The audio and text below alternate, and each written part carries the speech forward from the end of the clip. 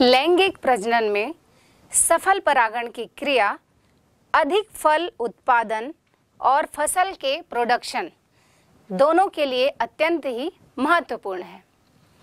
परागण, किसी भी पुष्प के नर जनन भाग या स्टेमन से पराग कणों का, जो पीले पाउडर के रूप में पाए जाते हैं, दूसरे पुष्प या उसी पुष्प के वर्तिकाग्र तक पहुँचना या स्त्री केसर तक पहुँचना, यह एक महत्वपूर्ण घटना होती है और इसे ही हम परागण के नाम से जानते हैं। संपूर्ण परागण की क्रिया न होने पर कई फ़सलों में तो फल और बीज बन ही नहीं पाते और कई जो फ़सल होते हैं, उसमें फल भी निर्मित नहीं हो पाते। तो इस प्रकार अलैंगिक प्रजनन के लिए परागण की क्रिया होना अत्यंत ही आवश्यक और अनिवार्य है। परागण के प्रकार। परागण दो प्रकार के होते हैं। स्वपरागण, जिसे हम सेल्फ पॉलिनेशन कहते हैं, और दूसरा परपरागण। सर्वप्रथम हम देखेंगे स्वपरागण। स्वपरागण, जिसमें परागकण एक फूल से उसी पौधे के किसी अन्य पुष्प में पहुँच जाते हैं। तब परागण की यह क्रिया सेल्फ पॉलिनेशन या स्वपरागण कहलाती है। ध्यान से सुनेंगे, जब परागकण किसी पुष्प के वर्तिकाग्र में, उसी पुष्प के वर्तिकाग्र में या एक ही पौधे के अन्य पुष्प के वर्तिकाग्र में कारकों द्वारा पहुँच जाते हैं तब यह घटना स्वपरागण कहलाती है। और ये कारक मुख्य रूप से हो सकते हैं कीटों के द्वारा, हवा के द्वारा या पानी के द्वारा। तो हम इसे कीट परागण, जल परागण या वायु परागण के नाम से भी इसे जान सकते हैं। मटर, गेहूँ और चावल, इस कुल के पौधों में यह परागण बहुधा पाया जाता है। आप यह भी जानते हैं कि कभी कभी आपने देखा होगा कि आपके घर में यदि पपीता का पौधा उगाया जाता है, जब पपीता बड़ा होता है, कुछ समय बाद हम इंतज़ार करते हैं कि इसमें फल लगेगा। कुछ ऐसे पौधे होते हैं, कुछ ऐसे पेड़ होते हैं जिसमें हमको पपीते का फल मिल जाता है। लेकिन कभी कभी पपीते में फल नहीं आते। तो हम कहते हैं कि ये फूल ही हो गया है, केवल इसमें फ्लावर ही रहते हैं। तो इसका भी कुछ रीज़न होगा। इसका रीज़न ये है कि जो पपीते का पौधा होता है, वो एक लिंगी होता है। अर्थात पपीते का पौधा या तो नर पुष्प को धारण करेगा या मादा मतलब या तो मेल फ्लावर वाला प्लांट होगा या फीमेल और इसका पता किसान को शुरू में तो नहीं लगेगा। जब पपीते का पौधा बड़ा हो जाएगा और उसमें जब फूल लगना शुरू हो जाएगा, उस समय हमको पता चलेगा कि वो फीमेल फ्लावर वाला है कि मेल तो इसीलिए किसान जब खेतों में पपीते का पौधा या पपीते का फार्म हाउस लगाते हैं तो तीन फीमेल प्लांट फिर उसके बाद एक मेल प्लांट इस तरह से क्रमवार पौधे, बीज को लगाते हैं ताकि परागकण प्राप्त हो जाए और परागण की क्रिया संपन्न हो और हमें पपीते का फल मिल जाए। हालाँकि अभी कुछ ऐसे भी नस्ल उत्पादित कर लिए गए हैं जो द्विलिंगी प्रकार के संकरित नस्ल हैं। दूसरा है परपरागण। परपरागण या क्रॉस पॉलिनेशन, नाम ही है इसका परपरागण। जब परागकण किसी पुष्प से उसी प्रजाति के दूसरे पुष्प में पहुँच जाते हैं या पहुँचा दिए जाते हैं तो परागण की इस घटना को परपरागण या क्रॉस पॉलिनेशन कहते हैं। परागण की यह घटना भी तीन कारकों द्वारा संपन्न होती है, सामान्य रूप से कीटों द्वारा परागण, वायु द्वारा परागण और जल द्वारा परागण। सर्वप्रथम हम देखते हैं कीटों द्वारा परागण। कीट परागण, जिसमें मधुमक्खियाँ, तितलियाँ या छोटे भौरे, ये फूलों में मंडराने लगते हैं और फूलों पर जब वे जाते हैं तो पराग कण उनके शरीर में चिपक जाता है। पंखों में, पैरों में, इस प्रकार जब वे एक फूल से दूसरे फूल की ओर जाते हैं, तब ये परागकण उस दूसरे फूल के वर्तिकाग्र में ट्रांसफ़र हो जाता है या उसमें छूट जाता है। क्योंकि जो वर्तिकाग्र है, वह चिपचिपा होता है और थोड़ा सा चौड़ा होता है। तो उसमें परागकण प्रवेश कर जाते हैं। गुलाब, डहेलिया, गेंदा और ट्यूलिप। इस प्रकार के पौधों में कीट परागण प्रायः हमें देखने को मिलता है, क्योंकि इन पौधों के जो दल पुंज होते हैं, कोरोला होता है, पेटल्स होता है, वो बड़ा ही आकर्षक, सुंदर और सुगंधित प्लांट है।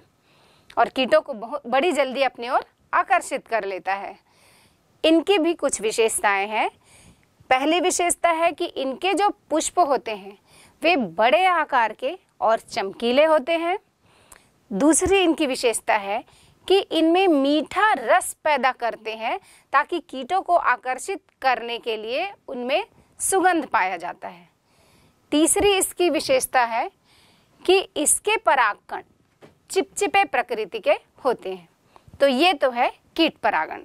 अब दूसरा हम देखते हैं प्रकार, वायु परागण।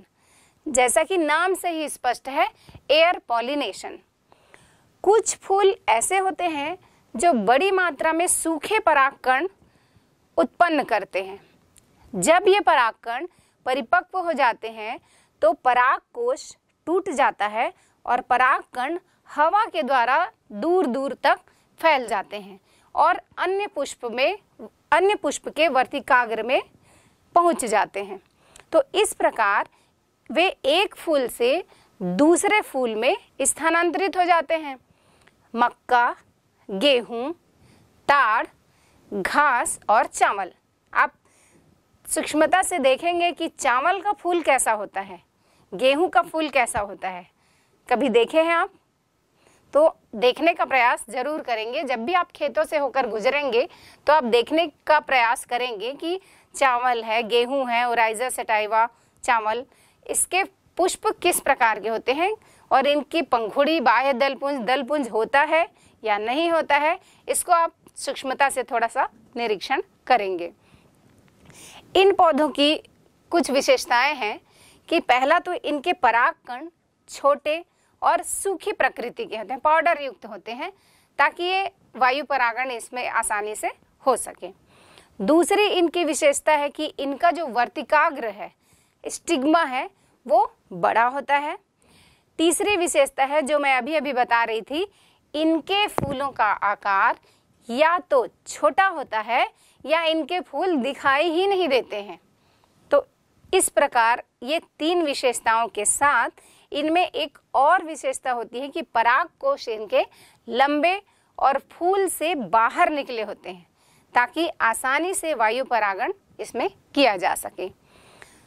परागण का तीसरा प्रकार है, जो पर परागण है, उसका तीसरा कारक है पानी के द्वारा, या वाटर पॉलिनेशन जैसा कि नाम से ही स्पष्ट है कुछ ऐसे पौधे होते हैं जो जल के भीतर रहते हैं, निमग्न प्लांट जिसको कहते हैं।